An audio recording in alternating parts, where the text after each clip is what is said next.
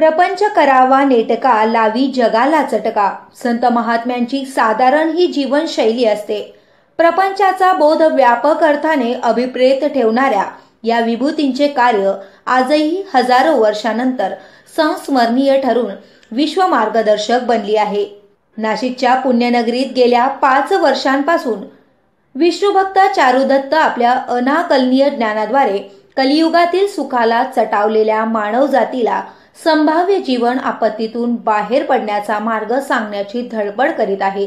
वयाच्या तेराव्या वर्षापासून विष्णुभक्त चारुदत्त नावाने मिळेल त्या वस्तूवर जमिनीवर छतावर अभंग काव्य कादंबरी अद्भुत आध्यात्मिक चक्र अशा विविध प्रकारच्या रचना करून सामान्य मानवी जीवाच्या बुद्धीला न पेलवणारा गूढ अर्थ या रचनांमध्ये समाविष्ट असला तरी या रचनांमधून पसरवणारा अर्थसकल मानवजातीसाठी मानव जातीसाठी कल्याणकारक म्हणूनच उपकारक असल्याची आमची अनुभूती आहे.